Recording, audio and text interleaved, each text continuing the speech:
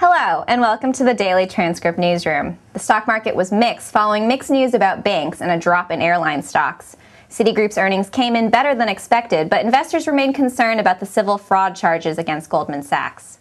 Shares of airlines fell after most European airports were closed for a fifth day due to the Icelandic volcano. In afternoon trading, the Dow Jones rose 19 points, pushing above the 11,000 point mark. The Nasdaq fell 17 points and the S&P 500 fell 2 points. Oil prices tumbled below $81 a barrel as the volcanic eruption sharply reduced jet fuel demand. In local news, Eli Lilly has filed an application to market exenatide once weekly in Europe. The company is developing the drug with San Diego companies Amylin and Alkermes. And SPAWAR has awarded Viasat an additional $6.6 million order. For complete coverage of these stories and more, please check back here throughout the day. I'm Rebecca Go, and thanks for clicking.